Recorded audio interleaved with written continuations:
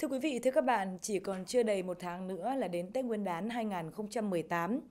Đến thời điểm này, các địa phương doanh nghiệp sản xuất, thu mua đầy đủ và tăng dự trữ hàng hóa nhằm đảm bảo nguồn cung phục vụ sản xuất kinh doanh và nhu cầu tiêu dùng.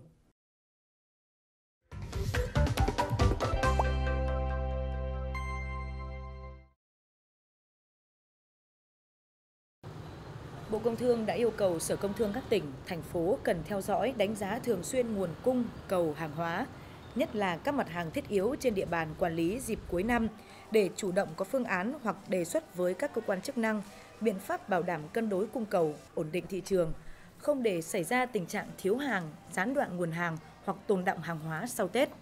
Theo thống kê thì tại hai đầu tàu kinh tế là Hà Nội và thành phố Hồ Chí Minh, tổng giá trị hàng hóa phục vụ Tết Nguyên đán 2018 lên tới hơn 43.000 tỷ đồng. Căn cứ vào cái kế hoạch chỉ đạo của thành phố cũng như là cái kế hoạch của Sở Công Thương, thì hiện nay là đã giao nhiệm vụ cho các cái doanh nghiệp sản xuất đang chủ động để à, cung ứng ờ, những cái nguồn hàng à, đủ cái lượng hàng để phục vụ cho người dân trong cái dịp Tết đối với 7 cái mặt hàng thiết yếu cũng như là những cái mặt hàng mà có nhu cầu sử dụng cao trong dịp Tết. Ờ, năm nay thì Hà Nội dự kiến khoảng ờ, 26.000 tỷ để phục vụ cho Tết Nguyên đán đối với các cái mặt hàng thiết yếu và những cái nhu cầu sử dụng cao trong dịp Tết. Tết ờ, âm lịch sắp tới thì chúng tôi cũng đã chỉ đạo các cơ quan và đặc biệt là cái hệ thống doanh nghiệp để mà chuẩn bị tốt cái lực lượng hàng hóa và có những cái hỗ trợ để cho các doanh nghiệp chuẩn bị dự trữ cái lượng hàng hóa nhất định Ờ, và có cái chất lượng tốt để mà phục vụ tốt à, phục vụ Tết.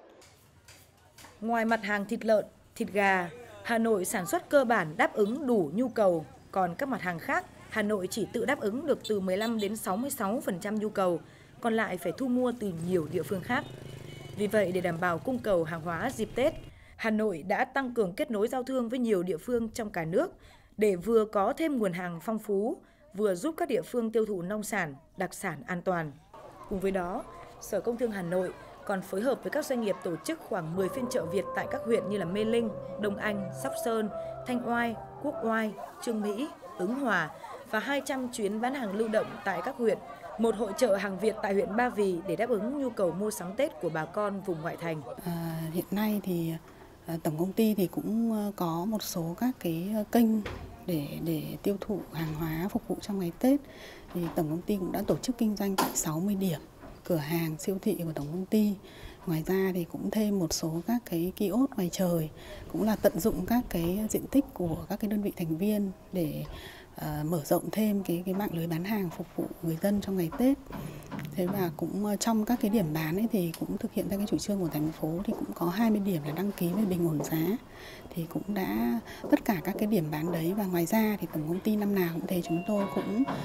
uh, phối hợp rất là tốt với uh, huyện Ứng Hòa tổ chức một cái uh, hội trợ từ 22 đến 26 âm lịch